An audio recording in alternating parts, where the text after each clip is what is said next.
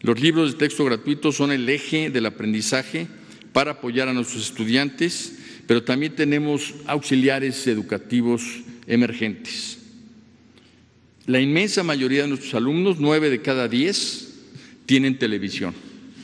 Ahí estamos aprendiendo a aprender.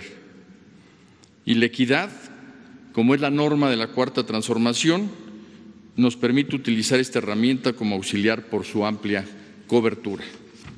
Desde ayer se están transmitiendo programas de televisión en Canal 11, Niñas y Niños, TV Educativa, TV UNAM y televisoras públicas de los estados, basados en los aprendizajes esperados de los libros de texto y de los planes y programas.